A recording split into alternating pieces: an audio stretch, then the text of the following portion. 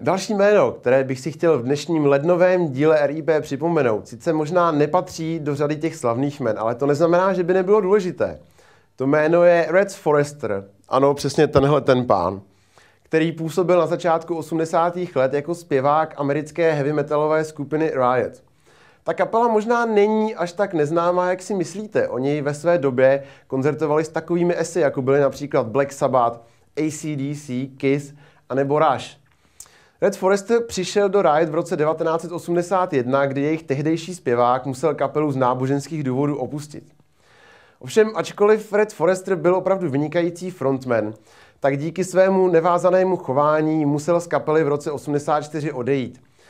Jako důvod se udává právě to chování, kvůli kterému kapela nemohla dosáhnout větších úspěchů.